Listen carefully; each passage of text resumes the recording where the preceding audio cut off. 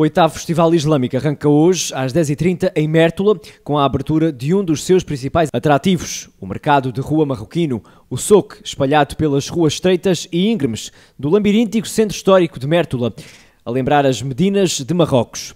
No soque, que irá funcionar todos os dias, das 10h30 às 22 horas, Comerciantes de vários países mediterrâneos que vão vender produtos como roupas, calçados, artesanato, tapetes, bijuteria, chás, especiarias, frutos secos e doces. Haverá ainda animação de rua. A banda sonora do festival, numa mistura de sons de raiz árabe, lusa e andaluz, inclui espetáculos do projeto Serafim e as vozes do Cal no Cineteatro Marques Duque, todos os dias, ao final da tarde, e concertos na Praça Luís de Camões e no Quais do Guadiana à noite.